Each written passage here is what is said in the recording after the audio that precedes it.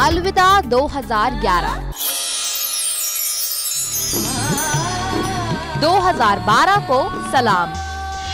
नए साल का नई उम्मीदों के साथ। नई उड़ान, नए जज्बे और फोकस के नए उत्साह और नए विचारों के साथ स्वागत है।